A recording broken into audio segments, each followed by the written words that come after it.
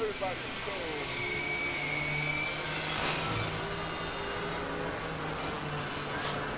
world will never forget.